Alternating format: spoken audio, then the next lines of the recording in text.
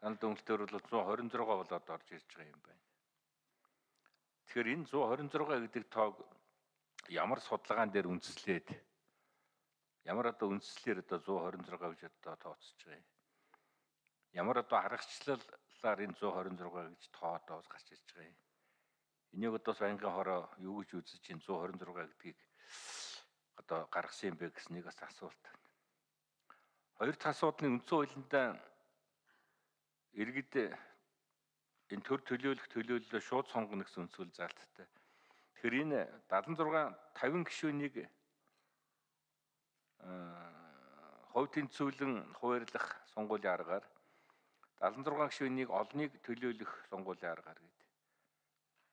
Тэгэхээр олныг төлөөлөх сонгуулийн арга гэдэг одоо ямар арга гэдэг нөө бидний хуучин яриад чивсэн нөгөө мажоритар арга шууд одоо сонгоно гэдгийг олныг төлөөлөх гэдэг юм уу?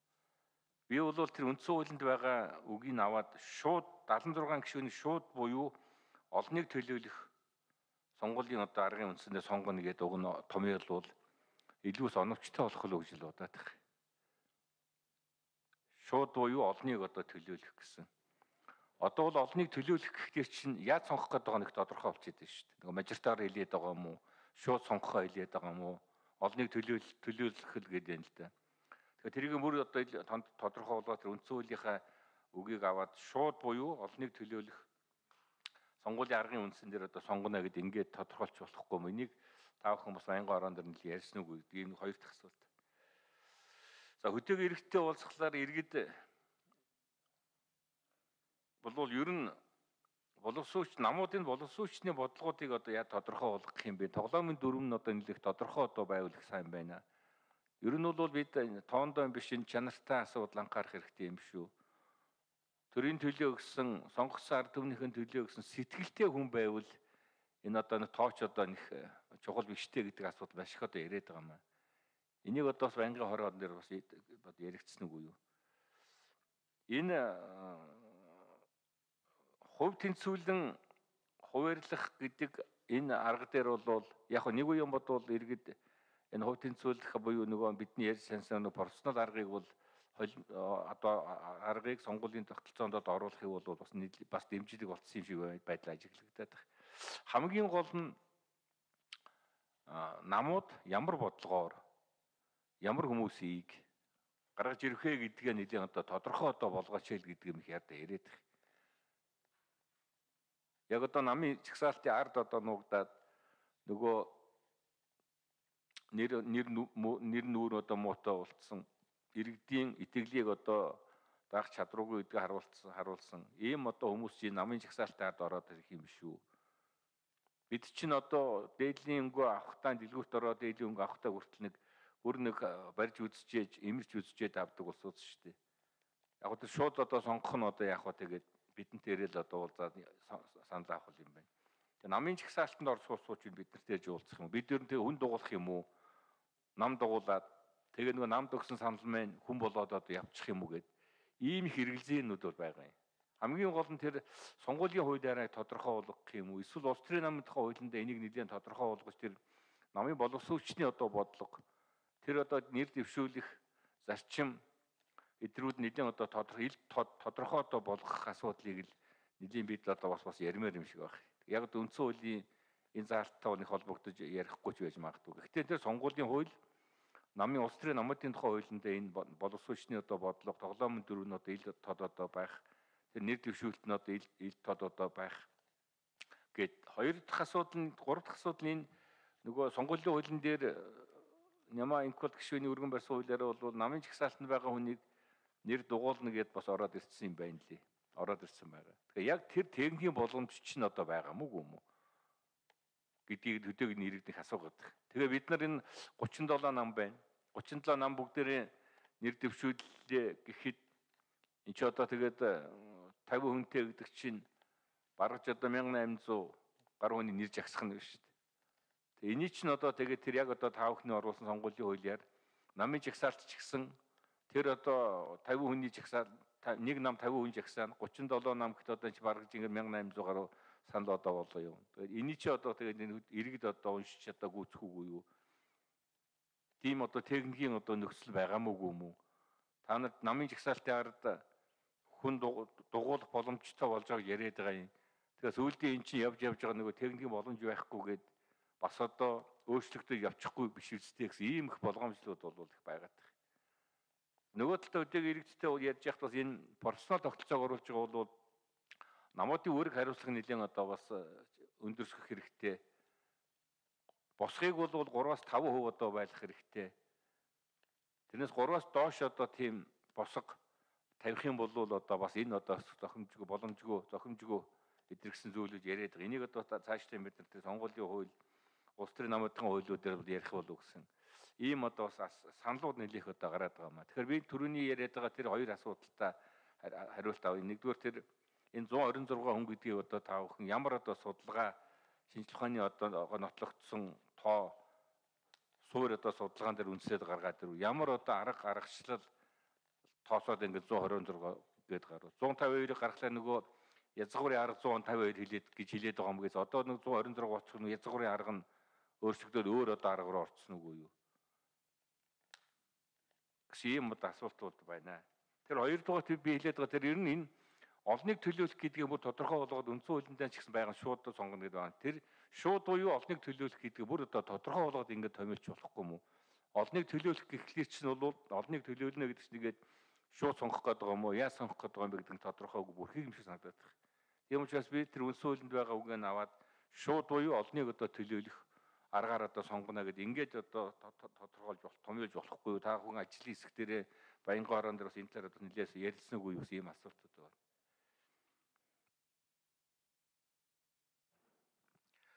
За. Содномын чин зэрэг гишүүний асуултанд төрийн байгуулалтын орны дарга Нямагийн их холд хариулъя. Ажлын хэсэг нэмж хариулж болно шүү. За баярлалаа. Түүхээ санах хэрэгтэй. Хилцэж эхэлсэн. Засгийн газраас өргөн мэдүүлсэн хуулийн төсөлтөөр бид нар ажиллаж байгаа. Улсын их хурл төрийн байгуулалтын байнгын хороо ажлын хэсэг. За засгийн газраас 152 гишүүн гэж оруулж ирэхдээ нэлээд сайн судалгаа за тэгээд нөгөө куб барагчлал тэргээд олон юм тал талаас нь хийж хагаад өнөөдөр Монголын нөхцөлд хамгийн тохиромжтой байгаа тоон энэ байна гэдэг ийм оруулж ирсэн. Бид нар тэгж ойлгож байгаа. А хилцүүлгийн явцад бол энэ тоо бас наац цаашаа болж байна. Ялангуяа иргэдтэй уулзаад ирсний дараа ирж байгаа саналууд зөвхөн уулзалт биш бичгээр 11 11-ээр загтлаар олон саналууд ирж байгаа. Энийн гол санаа бол холимгийг бол ойлгож जैन дэмжиж болно. 152 бол хэтэрхийх байна гэдэг. Нөгөө шинжлэх ухааны аргаар бодож ирсэн товгийн маань олон нийт иргэдийн зүгээс, сонгогчдын зүгээс тийм таатай хүлээж авахгүй байгаа. Ойлгом одоо энэ нь бол судалгаагаар харагдаж байгаа. Ингээд улсын хурл дээр ярьсан гişүүдийн дунд ч ярьсан хурл судалтай намуудын хүрээнд ярьсан аа Тэгээ бид нар бүлэг дээрээ ярьсан дээ. Хариултынхаа талын та өөрөө мэдж байгаа. Энэ хэмжээнд бай. 76-га тойргоо бол ямар ч тохиолдолд бууруулж болохгүй. Энэ төлөөлөл нутгийн, газар нутгийн иргэдийн төлөөлөл байх ёстой. За эндээсээ үүдээд 152 бол биш юм бол хэд байх үгээд ер нь уулзалтуудаар бус газруудаар гарч исэн саналуудыг ингэж дундажлаад харахад бол 120 хавцаа 120 хавцаалт тоонууд гарч байгаа. Ингээд зөвшөлт явсан энэ үндсэн дээр 126 гэдэг тоо гарч ирсэн. Бид нар бүгдээр оролцсон. Ганц ажлын хэсэг чигээгүй. Бүлгүүд дээр ярьсан. Намын удирдлагуудын төвшин тарьсан. Маш нарийн яг ийм аргачлалаар тийм суд судалгааны хувьд бол сая минь хэлснийг хэлж болно. За аргачлал гэвэл энэ дээр 152-ыг тооцсон шиг тийм нарийн олон аргачлалаар тал талаас нь тооцож үзээгүй гэдгийг уйлдод хэлэх ёстой гэж бодож байна. За шууд гэдэг үгний талаар та ярьлаа. Үндсэн хуульд бол тийм үг байгаа. Энэ шууд гэдэг үгний үгийг тавьчих олон жил маргаан явсан. Цэцтэр хэд хэдэн удаа нааша цаашаа тайлбарлсан шийдвэр гарч агаад одоо нэгдсэн ойлголт бол шууд гэдгээр бол зөвхөн тойргоо сонгож байгаа хүнийг сонгох тухай ойлголт бол хаач хэрэгтэйг иргэн өөрөө бие даагаад өөрөө шууд саналаа өгөх жагсаалтанд байна уу, хүний нэрд байна уу өх энэ ойлголтыг ерөнхийд нь шууд гэж ойлгосон байна. Одоо тэгэхээр энэ дотор нь засгийн газраас орж ирсэн пропорционал мажоритар хоёроо нэгийн шууд гээд нөгөөдхийн шууд бус гэнэ гэдэг бол их ойлгомжгүй байдал үүсгэнэ. Шууд гээд нэрлэлчээр тэр нь өөрөө үндсэн хууль таарч байгаа юм шиг нөгөөх нь шууд ус болохоор үндсэн хууль нийцэхгүй байгаа юм шиг ийм ойлголт гарч ирэх нь ойлгомжтой. Эргэтүүн зохицуул талаас. Тэгэхээр бид нар тэр шууд гэдэг үгийг тойргоо сонгох нэр дэвшигчдийн хувьд хэрэглээгүй. Ерөнхийдөө шууд гэдэг үндсэн хуулийнхаа том ойлголтын дотор пропорционал нь ч байж болно, мажоритар ч болно гэж ингэж нэгдсэн ойлголттой байгаа учраас энэ асуудал одоо өнөөдөр яригадаад байнгын хорон дээр яригадаад дундуур нь завсралга авч дахиж яригдж байгаа тэр олныг төлөөлөх гэсэн үг орж ирсэн. За олныг төлөөлөх гэдэг үгийн тараа талаар төрөө та бас ажилтаа гараад сонсоогүй бол та би нэлээд дэлгэрэнгүй тайлбар өгсөн. Улсын хурлын дарга дээрээс нь их дэлгэрэнгүй тайлбар өгөөд энүүнийг аль биесээр их хурлын протоколд оруулах тухай чиглэл өгсөн. Энэ нь өөрөө эргээд юунд хэрэгтэй юм бэхээр дараа нь эн чи юу гэсэн үг вэ? Ямар ямар ойлголт энэний цаана байдгийг гэдгийг хизээ нэгэн цагт асуудал үүсвэл тайлбарлахад одоо нотлогоо нь болох гэж хэлэх юм уу да. Ийм тайлбар зүйлүүдэд бол бид нар түрүү нэлээд дэлгэрэнгүй ярьцсан шин зэрэг сайдаа. Тэгээд ер нь бидний одоо засгийн газраас оруулж ирсэн мажоритар пропорционал гэдэг үгээр явчих гэхээр аль болохоор одоо үндсэн хуульдаа гадаад хэлний үг олныг оруулмааргүй байна гэдэг нэг санаа. За нөгөө талаар ер нь мажоритар гэдэг бол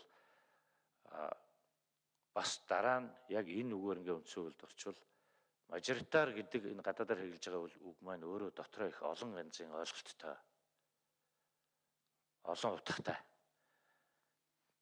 Гэт энэ талаар түрүүн бас их дэлгэрэнгүй байна. Тэгэхээр би давтахаа болоод тэр мажоритар гэдэг үгэн дотроо багтаж байгаа олон хувилбарын нэг болох манайд хэрэглэгдэж байгаа тухайн тойргоос хамгийн олон санал авсан нэр дэвшигч сонгогддог энэ аргыгаа бид нар олныг төлөөлөх гэдэг ийм монгол үгээр нэрлэе гэж тал талаас нь ярьж байгаа шийдсэн. За хэлний зөвлөлийнхэнтэй ч бас энэ талаар тодорхой хэмжээр санал солилцсон байлаа манай гişүүд. Тэгээ энэ үг бол одоо бидний ойлгож ирсэн мажоритар тэн дотроо тухайн тойрог дээрээ эсвэл тухайн сонгуулийн хэсгээс хамгийн олон санал авсан хүнийг сонгох энэ арга хэрэгжилж байгаа энэ арга нэрлж байгаа ийм томьёол гэж ойлгож явъя. Энийг үндсэн хуульд оруулъя. Ингээд цаашдаа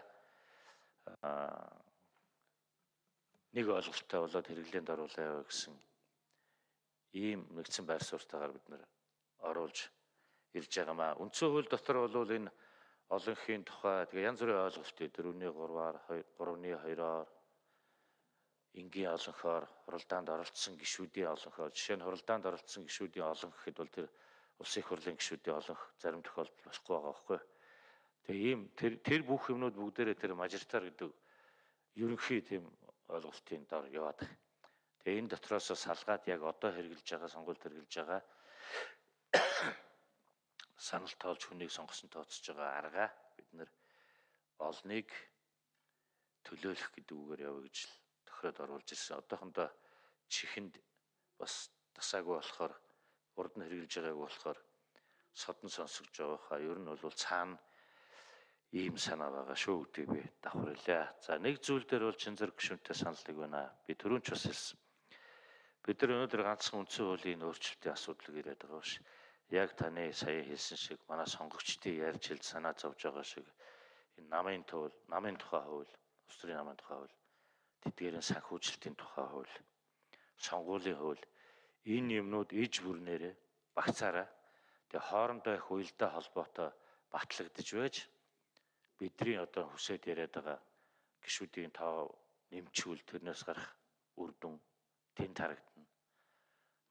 За гişүүдээ хэсгийн тойргоос хэсгийн одоо жагсаалтаар сонгох гэж одоо санал болгож байгаа энэ асуудал маань батлагдвал тэндээс гарч ирэх үр дүн бас энэ намын хөл сонгуулийн бүх юмтай хоорондоо уйлдчихэж одоо сайн үр дүн гарна гэсэн ийм л ихтгэл үнэмшилтэйгээр улсын их хурлын зөвлөлүүдийг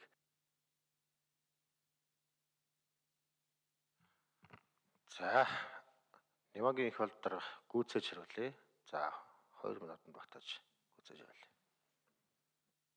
ийм ихтгэл үнэмшилтэйгээр заримыг нь улсын их хурл санаачил, заримыг нь Монгол улсын ерөнхийлөгч санаачлаад ингээд энэ хаврын чуулганы хугацаанд энэ хөлүүдээ бүгдийг зөгцөөр нь багцаар нь тэгээ хоорондоо уялдаа холбоотой гаргах нь өөрөө бидний одоо үндсэн хуулийн хуульд оруулах гэж байгаа өөрчлөлт үр дүнгээ авчрах гол суурь нь энэ бүгдийг хамтд нь уялдаа холбоотой батлах асуудал байгаамаа гэсэн хариулт өгөө энэ төр тантай санал нэг байна. За содномын чин зэрэг гишүүн тодруулж асууя. Тодруулж асуух хугацаа 2 минут байгаа. За Тэгэхээр яг бид энэ гişүүдийн тоог нэмэгдүүлэх асуудлыг тайлбарлахдаа төлөөллийн чадамж нэмэгдэнэ гэж л бас яриад байгаа юм л да ажлын хэсэг дээр. Би бас нэг тэр нь тэгж ярих нь бас буруу ч юм бодоод байна. Тэг одоо энэ олныг төлөөлөх аргаа сонгоод ирэхлээр чи нөгөө талдаа тэр иргэдийн төлөөлөх төлөөлөх чадам нэмэгдэж байгаа чадамж маань сонгогдох төлөөлөх тэр хувь процент чинь их бууч шүү дээ. Олныг төлөөлөх гэдэг чи одоо тэг хэдэн хувийг хэлэх юм? Олон хүн өрсөлдөөд нийт сонгогчдын 10% авсан хүн бол тэгэл олныг төлөөсөн, олныг нь төлөөсөн гэд гişүүн болох асуудал яар гараад ирнэ шүү дээ. Тэгэхээр наадах нэг төлөөллийг чадам нэмэгдэж байгаа чадамж маань иргэдийнхээ нөгөө саналыг авчгаа тэр одоо төлөөлөл чинь нөгөө талаасаа их сулархал юм руу явчих л гэж бодох. Одоо бол олныг төлөөлнө гэдээ ингээд оруулчихлаар бол нийт одоо тойрог дээр нэр дэвшигчтэй сонгож байгаа нэр дэвшигчдээс бол Тэдэн хувьс одоо доошгүй санал авсан бол их хурлын гишүүнээ сонгогдно гэсэн тийм босго гэдэг бол байхгүй болно гэсэн үг шүү дээ. Тэр бол наас 10% олон хөрсөлтөнд 10% санал авсан ч хүн олныг төлөөсөн гэдэг гишүүн болох 15% санал авсан хүн ч гэсэн олныг төлөөлнө гэд. Нөгөө талдаа бид нар гишүүдийн тоог нэмэгдэх ширэгдийн төлөөллийг нэмэгдүүлж яана гэж чадамж төлөөллийг төлөх чадамжийг нэмэгдүүлж яана гэдэг атлаа нөгөө төлөөлөх мандат маань нэлээд одоо тийм суларчих юм руу одоо явчих юм биш үү сөрөг тал нөгөө талдаа Олныг төлөөлнө гэхлээр одоо нас үндсэндээ босгоод явахгүй л гэсэн өөр явлаа шүү дээ. Тэгэхээр бол тэгээд 10% санал авсан хүмүүс 15% санал авсан олныг төлөөсөө гэд ингээд хэдийгээр төлөөллийн тоо нэмэгдэж байгаа ч гэсэн төлөөлөх нөгөө чадамж маань нэлээд одоо суларчих тийм юм руу явчих юм биш үү? Би нөгөө талдаа тийм бас сөрөг юм гарах юм байна гэж л бодоод байна.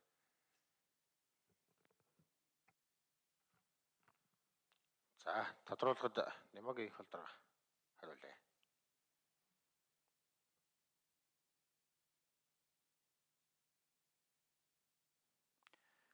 Төлөөлөх чадамж гэж бид нэг гишүүний ард хідэн сонгогч байна вэ гэдгээр нь дүгнж ярьж байгаа. 92 онд хууль батлагдахад нэг гишүүний ард нэг 23 орчим мянган гишүүн байсан бол одоо тэр нь 2 дахин нэмэгдээд 45 болчихж байгаа нь өөрөө сонгогдсон гишүүний иргэн төлөөлөх чадамжийг 2 дахин бууруулсан байна гэж үзэж энэ утгаараа ойлгож байгаа. А гишүүнээ сонгохдоо одоо таны санаа зовоод байгаа гэдэг энэ аргыг хэрэглээ сонгож байгаа шүү дээ. Одоо өнөөдөр ч гэсэн бид нар тэр аргаал олныг төлөөлөх гэдэг үгээр илэрхийлж байгаа. Тэгээс тэр энэ үгийг хэрэглэлээгээд бидний одоо гишүүн сонгож байгаа арга маань өөрчлөгдөхгүй. Өөрчлөгдөхгүй. Бид нар бүгдээр яг тийм аргаар сонгогдсон. Тухайн тойргийн гишүүний 50 50 дээр нэмэх нь нэг биш. Тэр тойргоос тойрогт нэр дэвсэн хүмүүс хинэн сонгогчдоос хамгийн олон санал авсан байна. Тэр нь сонгогдож байгаа. Энэ одоо хэрэгжилж байгаа аргаал ингэж нэрлэе гэж тогтож байгаа. Дээр нь 50 тэгээ олонхыг гэдэг үгээ хэрэгжилчих гэхээр 50 дээр нэмэх нь нэг гэдэг ерөнхий ойлголт явчих гад байна. Энэ маань өөрөө дараа нь үндсэн хуульд суудсан хойно одоо буруу зөрөө ойлголт өгөөд буруу тайлбарлаад бас янз бүрийн асуудал гарна шүү гэдэг болгоомжлолын үүднээс бид нэр зориу төр мажоритор гэдэг ерөнхий малгайн дор явдаг олон аргуудаас өнөөдөр хэрэгжилж байгаа арга хамгийн оновчтой болгож хэрэгжилж байгаа л ийм нэр томьёо гэж ойлгож болно. За сонгуулийн хуулиа гаргахтаа бол биднэрт бас аргууд байна. 10% хувиар сонгогдох энэ төр боломжийг бас хааж болно. Хамгийн олон санал авсан гэхдээ нийт сонгогчдын төдөөс доошгүй хувийн санал авсан сонгогч нь тооцно гэдэг ийм залт оруулж болно. Энийг бол бид нар сонгуулийн хуулиараа. За. Цэндийн сандаг очир гişүүн асуулт асууя. За баярлалаа. За 152-өө 106 нь 26 болгож